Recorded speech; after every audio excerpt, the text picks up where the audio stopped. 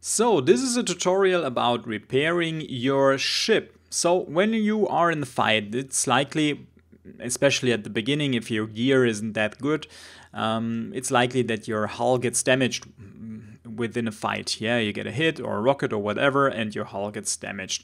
So now we are in the fight uh, at the moment with the scout drone, and the scout drone is shooting at us. And now the hull got damaged, as you were able to see in the upper right. So now we will jump to a repair station. You just set a course for a repair station. And uh, well, now we would have to align our ship and um, do a jump. We yeah, we can skip this. So now we are at the repair station and the repair station is the thing in the background. So we actually have to fly in the uh, repair station and uh, communicate with the repair station and tell the repair station to, well, repair our ship. One special thing is there, and um, you have to lower your shields while you are in the repair station. And this is, well, let's say, for a beginner quite tricky because uh, how do I disable my shields? But I will show you in a minute. So this is the symbol for repair stations and the repair stations are um, the factions behind the repair stations are not important. Every repair station will repair you. It doesn't matter how your your standing with the or reputation with the faction is.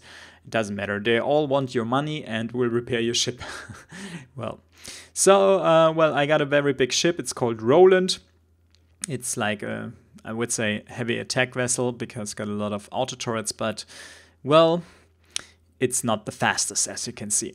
So, we are close to the repair station and we will fly in the repair station and um, you will see some, let's say, blue hmm, stripes going on if you're in the right position. Just wait a sec. Hope I don't kill it. don't hit it. Ah, there you see the blue stripes as I told you. This is, uh, well, indicates that you are ready to get repaired. Then the comms, yeah, open the comms with the repair station and uh, it says we can't repair your ship while your shields are up. So now you have to go to the engineer room um, to lower your shields. And as I told in the first tutorial, every ship has its own, well, uh, destinations of certain rooms like teleports or engineer room or whatever and this is uh, a bit far off so in the engineers room there are always three well let's say levers and uh, they are um, well to boot your ship up and uh, if it gets well if you have heavy damage or are very low then it might go off and you have to reboot your ship and uh, it's working with the levers. And always the right one the third one is for your shields so shield up shield down shield up shield down.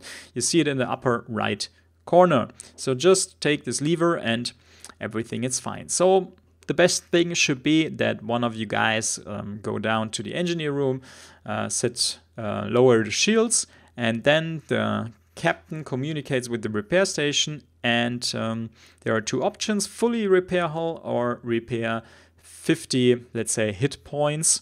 Uh, depends on your money but uh, I suggest always a fully repair hull. And well after repairment um, somebody has to get uh, go down again and well reactivate your shields so this is quite a journey with this vessel and um, yeah, but that's all about um, the tutorial and lowering your shields and getting repaired. Thank you for watching my tutorial. There are a few other tutorials and a whole playlist which you can access by clicking here. See you guys and thank you.